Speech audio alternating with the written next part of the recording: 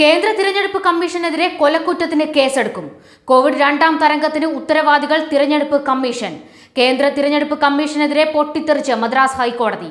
Covid protocol പാലിക്കുന്നുണ്ടെന്ന് ഉറപ്പുവരുത്താൻ തിരഞ്ഞെടുപ്പ് കമ്മീഷൻ ശരിയായ പദ്ധതി തയ്യാറാക്കിയില്ലെങ്കിൽ മെയ് രണ്ടിന് വോട്ടെണ്ണൽ തടയുമെന്നും മദ്രാസ് ഹൈക്കോടതി മുന്നറിയിപ്പ് നൽകി. മദ്രാസ് ഹൈക്കോടതി ചീഫ് ജസ്റ്റിസ് സജീബ് ബാനർജിയാണ് കമ്മീഷനെ രൂക്ഷമായി വിമർശിച്ച് രംഗത്ത് വന്നത്. തിരഞ്ഞെടുപ്പ് പ്രചരണമെന്ന രാഷ്ട്രീയ പാർട്ടികളുടെ പേക്കൂത്ത് തടയുന്നതിന് തിരഞ്ഞെടുപ്പ് കമ്മീഷൻ ചെറുവിരൽ അനക്കിയില്ല. കോവിഡ് ആശങ്കകൾ ഒഴിയാതെ നിൽക്കുമ്പോൾ തന്നെയാണ് തിരഞ്ഞെടുപ്പിന്റെ പേരിൽ രാഷ്ട്രീയ പാർട്ടികളുടെ ജനക്കൂട്ടത്തെ അണിനിരത്തിയുള്ള പ്രചരണം അരങ്ങേറിയത്. മാസ്കും സോഷ്യൽ ഡിസ്റ്റൻസിംഗും പാലിക്കാതെ ജനം തെരുവിലിറങ്ങി. അതിന്റെ പരിണിത ഫലം കൂടിയാണ് രണ്ടാം തരംഗത്തിൽ അനുഭവിക്കുന്നത്. ഉത്തരവാദികൾ തിരഞ്ഞെടുപ്പ് കമ്മീഷൻ എന്ന് പൊട്ടിത്തെറിക്കുകയായിരുന്നു മദ്രാസ് ഹൈക്കോടതി. കമ്മീഷൻ ഉദ്യോഗസ്ഥർക്കെതിരെ കൊലക്കുറ്റത്തിന് കേസെടുക്കുമെന്നാണ് കോടതി പറഞ്ഞത്. രാജ്യം ശവപ്പറമ്പായി മാറിക്കൊണ്ടിരിക്കുമ്പോൾ രോക്ഷം അടക്കാനാകാതെ പൊട്ടിത്തെറിക്കുകയായിരുന്നു കോടതി.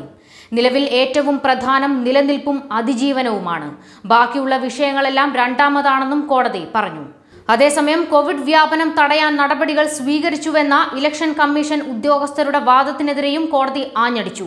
തിരഞ്ഞെടുപ്പ് റാലികൾ നടന്നപ്പോൾ നിങ്ങൾ മറ്റേതെങ്കിലും ഗ്രഹത്തിലായിരുന്നുവോ എന്നാണ് കോടതി ചോദിച്ചത്. പൊതുജനാരോഗ്യം പരമപ്രധാനമാണെന്നും ഇതിങ്ങനെ ഓർമ്മപ്പെടുത്തേണ്ടി വരുന്നത് സങ്കടകരമാണെന്നും കോടതി പറഞ്ഞു. ഒരു പൗരൻ അതിജീവിക്കുമ്പോൾ മാത്രമേ ജനാധിപത്യ റിപ്പബ്ലിക്ക് ഉറപ്പു നൽകുന്ന അവകാശങ്ങൾ ആസ്വദിക്കാൻ കഴിയൂ. ഇപ്പോൾ സ്ഥിതി നിലനിൽപ്പും സംരക്ഷണവുമാണ്. ബാക്കിയെല്ലാം അത് കഴിഞ്ഞേ വരൂ ഹൈക്കോടതി പറഞ്ഞു. തിരഞ്ഞെടുപ്പ് റാലികൾ നടക്കുമ്പോൾ നിങ്ങൾ അന്യഗ്രഹത്തിലായിരുന്നോ എന്നും കോവിഡ് വ്യാപനം നടക്കാതിരിക്കാൻ എന്ത് നടപടിയാണ് നിങ്ങൾ സ്വീകരിച്ചതെന്നും ചീഫ് ജസ്റ്റിസ് തിരഞ്ഞെടുപ്പ് കമ്മീഷനോട് ആരാഞ്ഞു.